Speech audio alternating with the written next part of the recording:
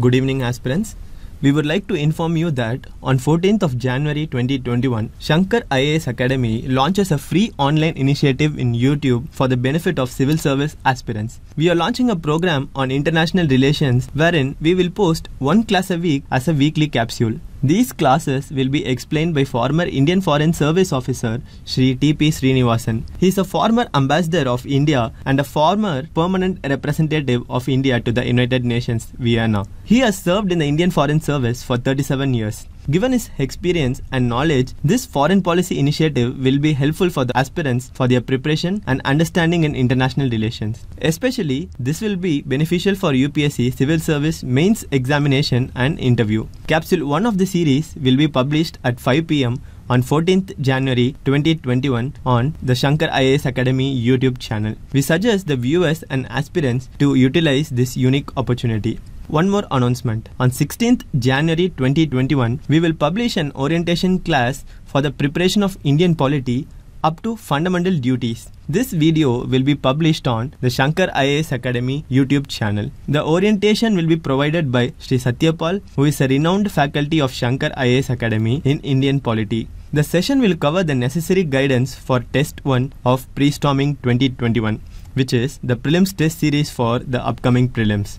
After attending the orientation, interested aspirants may take the first test of Pre-Storming 2021 which covers the polity syllabus up to fundamental duties. Now let us proceed to our daily news analysis. The list of news along with their page number is given here for your reference.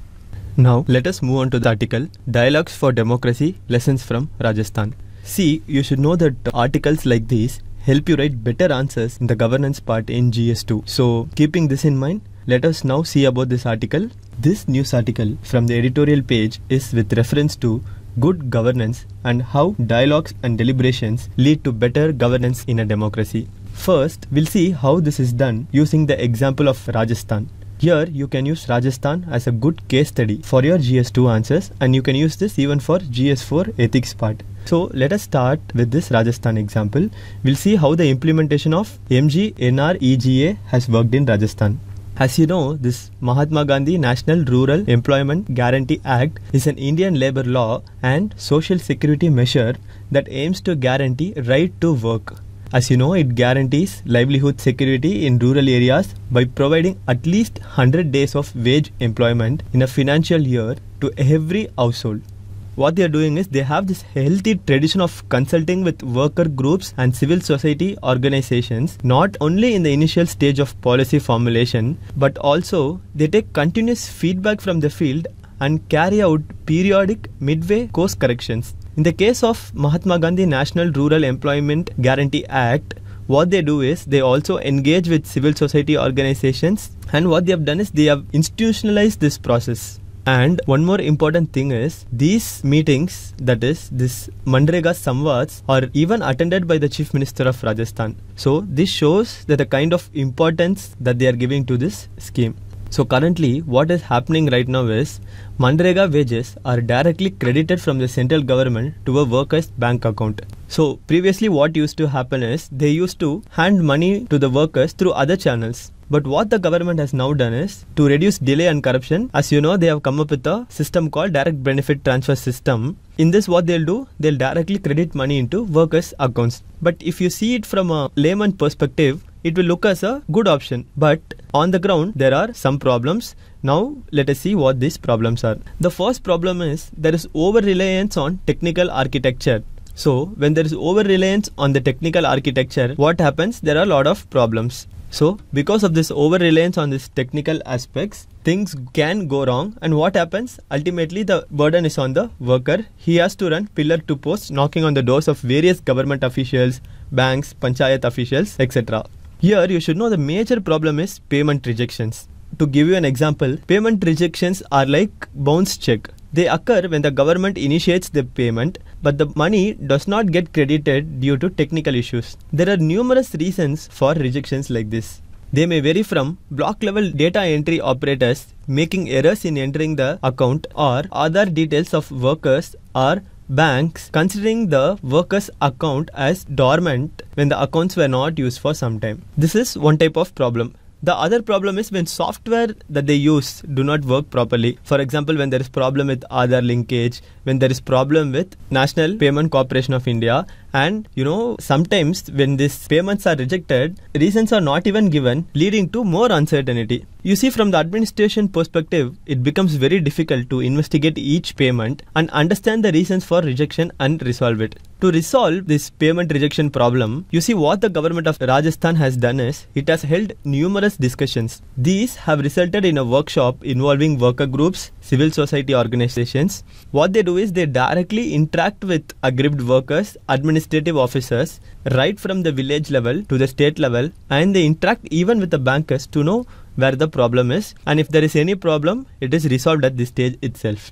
So, as the dialogues kept evolving, detailed guidelines were issued with well defined responsibility, clear timelines, proper monitoring was done, and even what are the protocols that should be followed by the officials? All these were laid out properly. So what this has done? This has resulted in a significant reduction in payment rejections in rajasthan. In a period of 1 year from which these workshops were held the rajasthan government was able to clear rupees 380 crore worth of payment to workers that were earlier stuck due to rejections. Currently, only 2.7% payments are yet to be paid by the state government. So, the goal is to ensure that every person who has worked gets their full payment on time. So, the open communication channels and eagerness to work with worker groups and a keen ear to the ground have benefited thousands of MGNREGA workers in Rajasthan. So, as you know, the Right to Information Act that had its origins in the people movement in Rajasthan mandated proactive disclosure of information. However, as you know, a lot of programs that the government implements has a lot of problems with regard to information that they give and a lot of these programs are inaccessible and when they are accessible they are not properly defined so to overcome this what the rajasthan government has done is it has launched a program called jan Soochna portal in 2019 so let us see about this Jan Soochna portal. It is a single platform in the public domain providing information across 60 departments of over 104 schemes. The design and formats of each scheme have been arrived carefully through a digital dialogue involving government officials and numerous civil society organizations. While there is still a long way to go, the ongoing consultative experiences in Rajasthan do offer hope. So, with involving civil society and worker groups in policy planning and policy implementation, Rajasthan government has been at the forefront in solving numerous issues with regard to governance. So, now you must be wondering why the government is talking about Manrega right now. The author is talking about it right now is because of the issue of farmers' protest on farm laws. It has been 45 days since lakhs of farmers have gathered in Delhi protesting the farm laws. Now, let us leave aside the merits and demerits of the laws. Many are aggrieved about the process. Why they are aggrieved? Because there was lack of consultation with farmer groups. So this is your problem. Any law you take, there will be merits and demerits. But what they are telling is there was lack of any consultation with the farmer groups. So, very often you should know that policymakers ignore the need for dialogue and deliberation with beneficiaries. So, what the author is trying to tell is consultations are needed during the initial stages of law and also during the implementation to carry out proper fulfillment of the program. So, the author tells even when policies are formulated in good principle, their implementation becomes messy. So, for course correction, what you need is you must have regular dialogue with people who are on field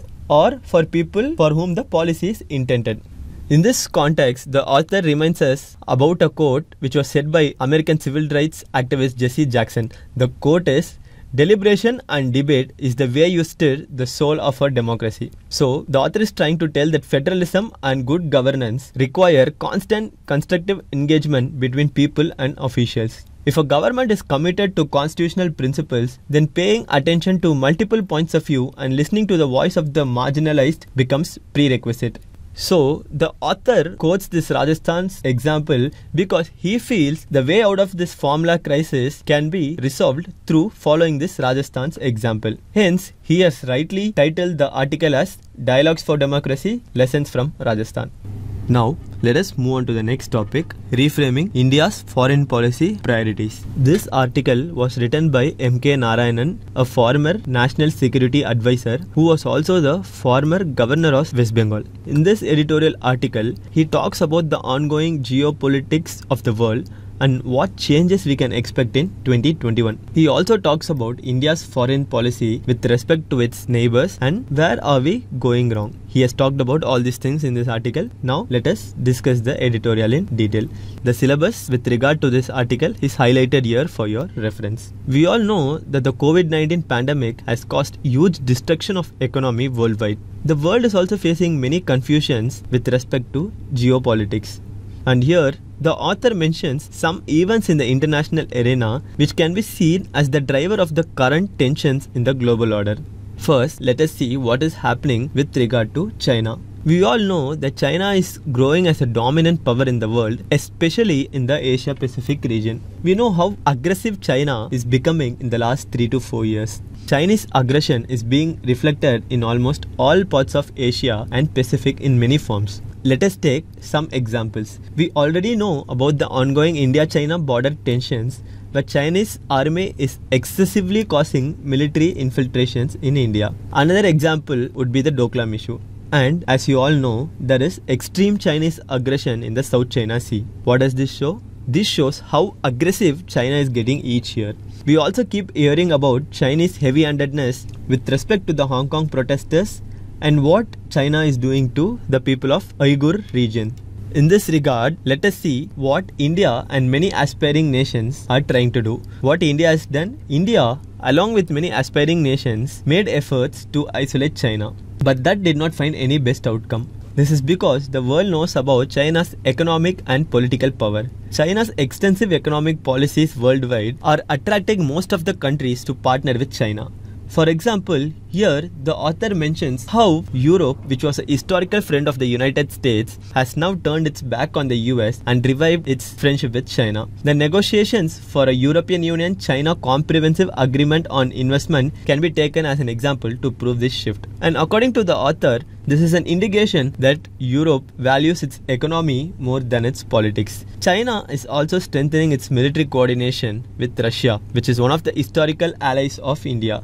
Here, the author mentions that China is the only major country which had a positive rate of growth at the end of 2020 and its economy is poised to grow even faster in the year 2021. So due to all these reasons, developed and developing nations around the world are not wishing to make China their enemy and this has shattered all hope that China would remain isolated in 2021. Now, the author talks about major challenges that are likely to occur in Eurasia and West Asia this year. Russia's engagement with China and its alliance with Turkey are signaling reduced interest in countries such as India. In West Asia, the Abraham Accords is leading to a realignment of forces in the Arab world.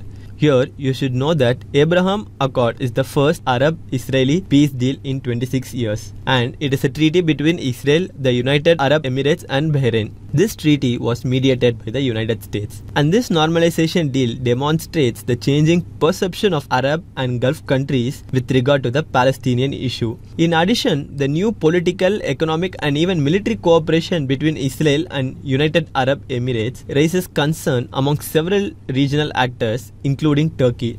The landmark deal between Israel and United Arab Emirates was not welcomed and was harshly criticized by Turkey. Also, another major player in the West Asian region, that is Iran, fiercely opposed the US-Israel relation and the US recognition to the existence of Israel.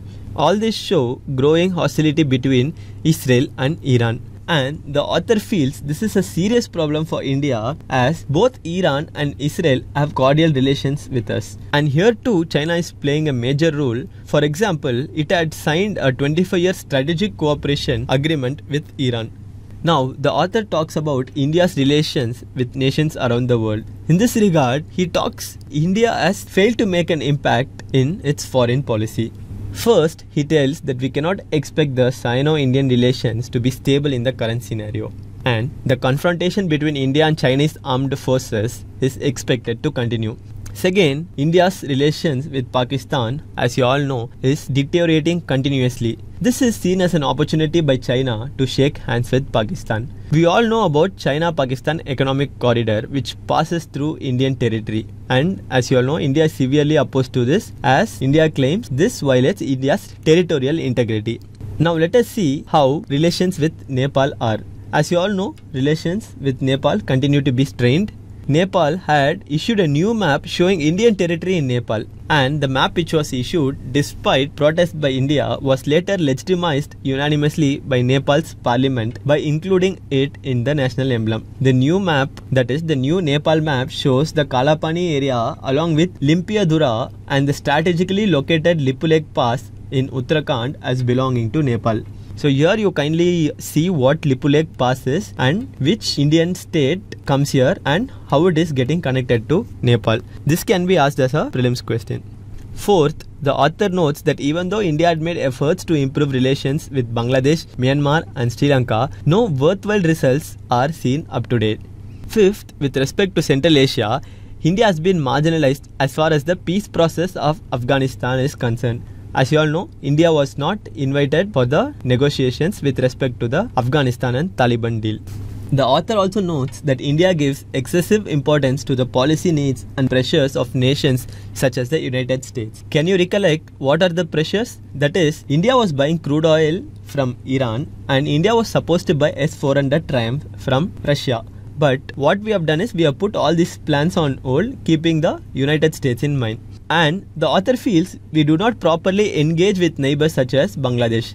What is our problem with Bangladesh? The problem is with regard to the Tista water sharing agreement. And we also do not engage properly with long term friends such as Vietnam and Iran. And the author feels today India Iran relations lack enthusiasm. And what this has resulted in? The author feels this has resulted in India's isolation from the world. So far, the author was talking about bilateral relationships. Now let us see what he feels about multilateral initiatives. He also talks about India's isolation from regional and international organizations. For example, the non-aligned movement and the SAARC which are two organizations for which India was a founding member. But these two organizations couldn't be used in India's favor. Enmity between India and Pakistan has made SAARC to be virtually dead. And this has led India to move towards a newer institution called BIMSTEC, that is Bay of Bengal Initiative for Multi-Sectoral Technical and Economic Cooperation. But again, due to strained relations with neighbor, this couldn't see any success.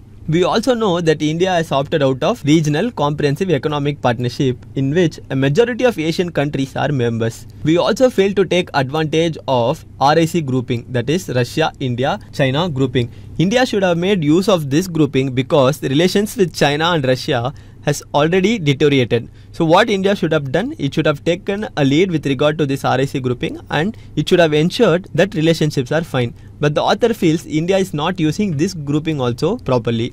Now, the author feels all these issues are due to lack of effective and efficient foreign policy. In this regard, he tells that India's foreign policy suffers from an ideational vacuum. What does he mean by ideational vacuum? He tells Indian policy makers, that is, Indian foreign policy makers, lack firm ideas. So now the author prescribes that India's foreign policy objectives should be strengthened to widen its sphere of influence. It should enhance its role across nations and it should also make its presence felt as an emerging power in an increasingly disruptive global system. And he feels this should be done with serious efforts since India will serve as the president of the UN Security Council for the month of August 2021. So the author tells India should use this as a leeway and try to change its relations with neighbors and other countries. This is all about this article. Now let us have a look at the next article, a step back in gender equality.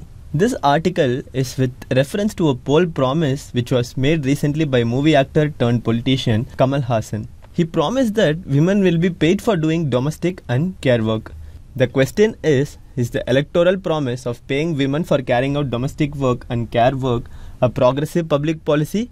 So, you see, articles like this will help you better answer essay questions. For example, recently this year we had a question on patriarchy, and also it will help you in GS1 questions. Now, let us look at the article again. On the face of it, it looks like a progressive idea, that is, paying women for domestic idea. On the face of it, it looks like a progressive idea, but a closer scrutiny suggests a different picture. This is because in India there is presence of disproportionate burden of work. Women bear a disproportionately high burden of unpaid domestic work and care work in India.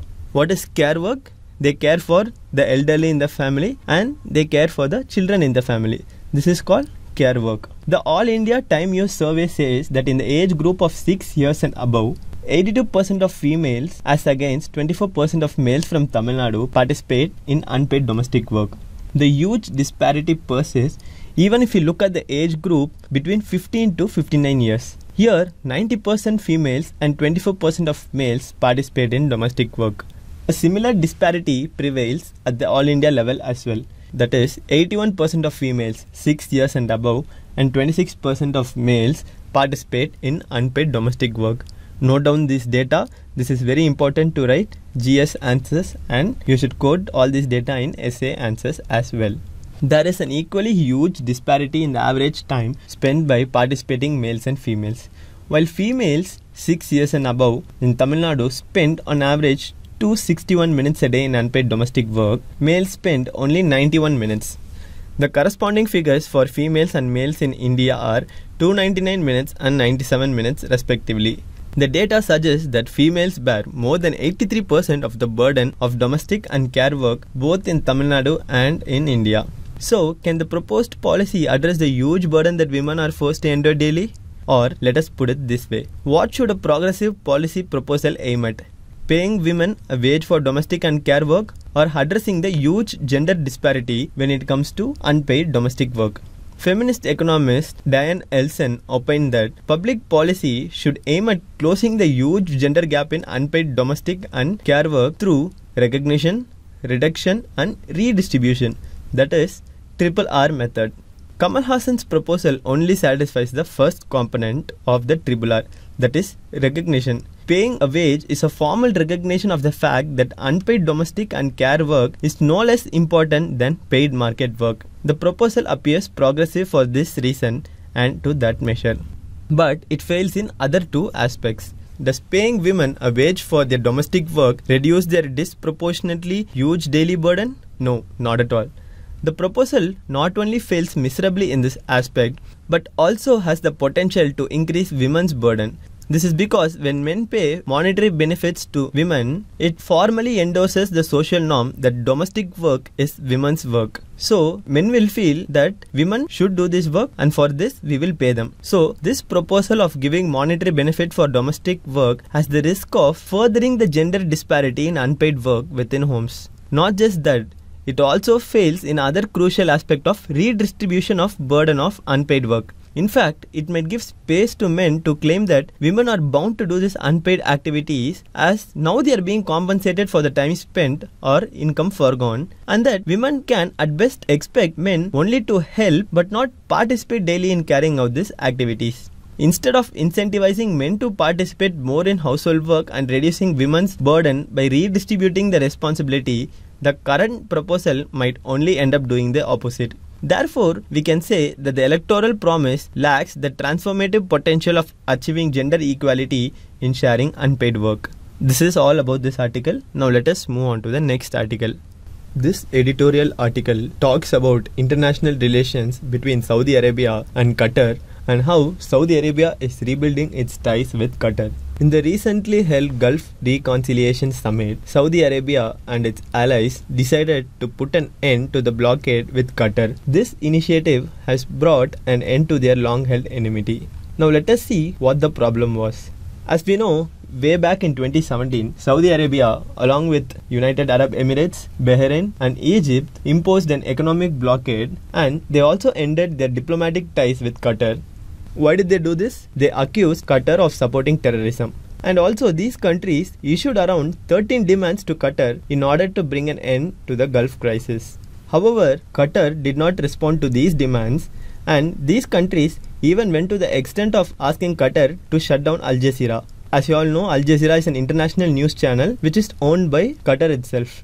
Now, let us see what were the other demands of these countries. The next demand that these countries put on Qatar was they asked Qatar to close down the Turkish military base which was present in Qatar. And they also asked Qatar to cut down its diplomatic relations with Iran. But what did Qatar do? It responded in an entirely different manner.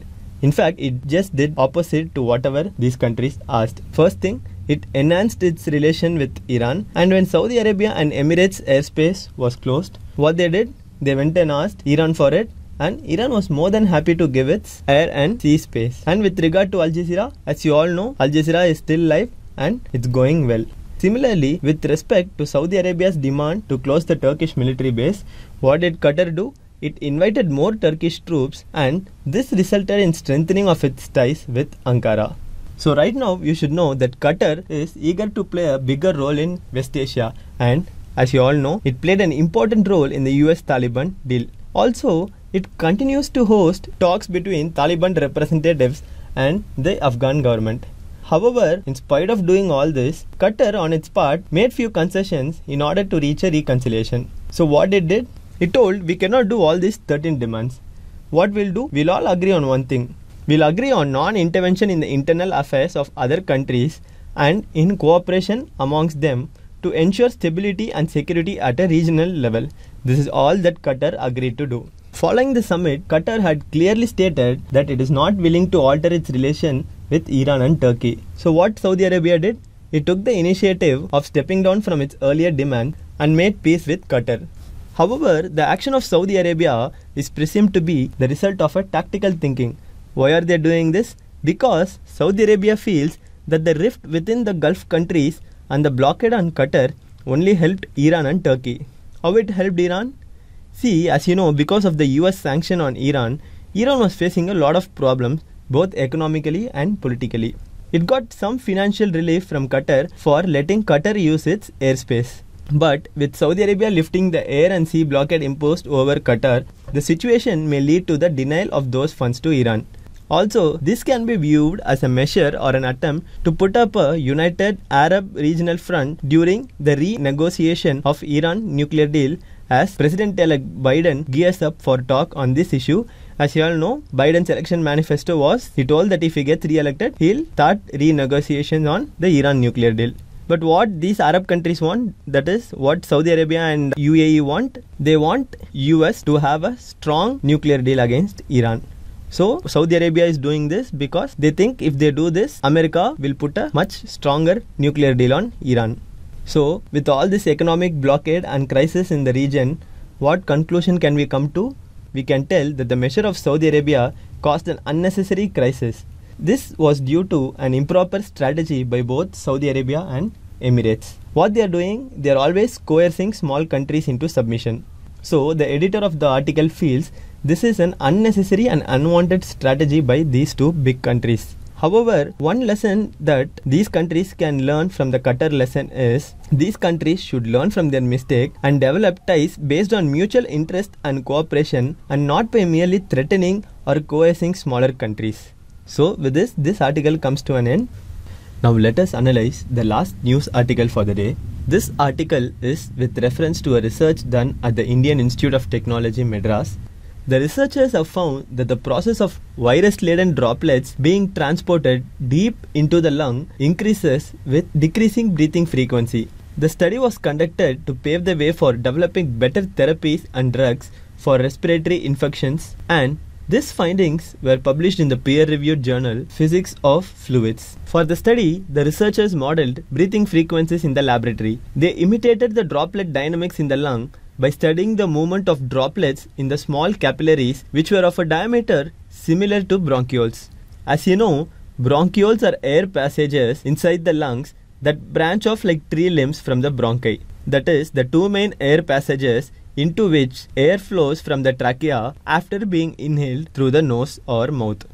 The bronchioles deliver air to tiny sacs called alveoli where oxygen and carbon dioxide are exchanged. As you know, capillaries are very tiny blood cells. They help to connect your arteries and veins in addition to facilitating the exchange of certain elements between your blood and tissues. And with this experimentation, the researchers have found how particles are being transported and how it is getting deposited deep inside the lungs. Now let us see the findings of this report. First, it tells that holding the breath and having a low breathing rate could increase the chance of virus deposition in the lungs.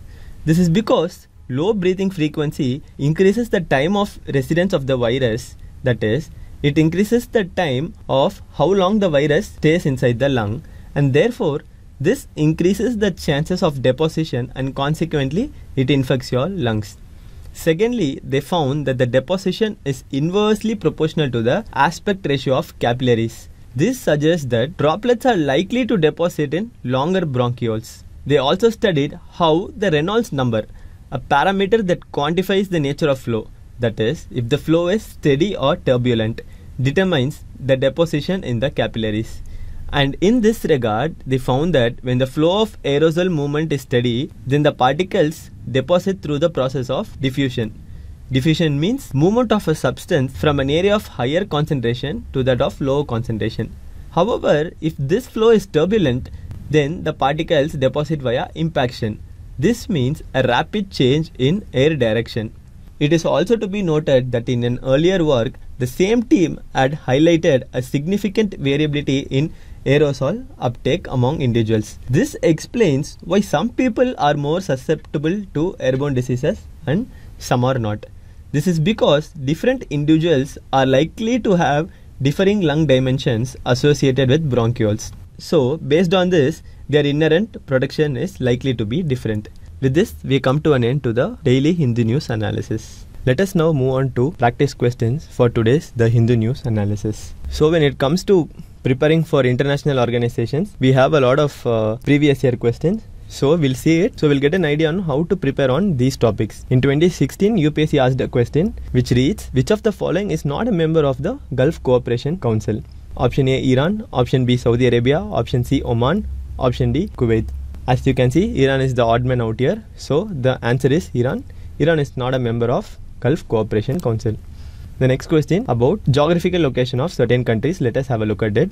Which of the following countries is not a part of the Persian Gulf region? Option A Bahrain, option B Qatar, option C Yemen, option D UAE. The right answer is option C Yemen. Let us now move on to the next question. With reference to a recent study called Respiratory Aerosol Transport in Phantom Lung Bronchioles, whose reports were published in newspapers, consider the following statements. The first statement reads High breathing rate could increase the chances of virus deposition in the lungs. The second statement reads Holding the breath could decrease the chances of virus deposition in the lungs. Which of the above statements is or are correct? The right answer is neither one nor two. As we have seen in our discussion, the study found that holding the breath and having low breathing rate could increase the chance of virus deposition in the lungs. This is because low breathing frequency increases the time of residence of the virus and therefore it increases the time of residence of the virus and therefore it increases the chances of deposition and consequently the infection. So the answer is option D now let us move on to the next question. Deliberation and debate is the way you stir the soul of a democracy. Elaborate. This is a 10 marker, so give 10 points, give a proper introduction, body, and then give a proper conclusion.